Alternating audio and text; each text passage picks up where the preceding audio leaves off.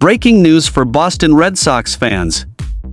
In an innovative move, the Boston Red Sox have kicked off the international free agent signing period by officially securing the talent of 17-year-old center fielder Vladimir Asencio. Top prospects signed for $1 million. Asencio, a right-handed hitter and pitcher, is expected to join the Red Sox in a deal worth $1 million, as reported by Ben Badler of Baseball America.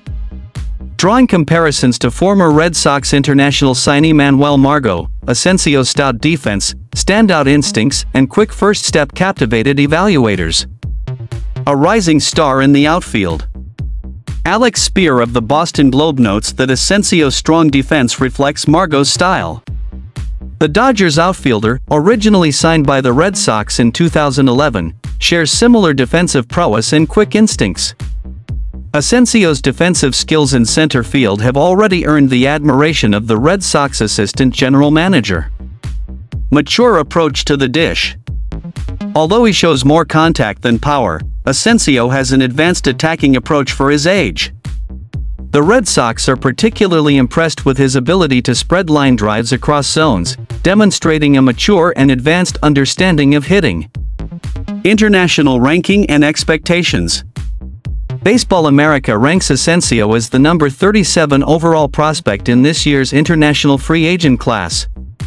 Born in the Dominican Republic, Asencio stands out as one of the hardest hitters to strike out.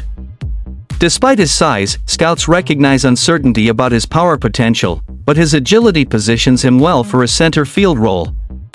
Red Sox international spending plans.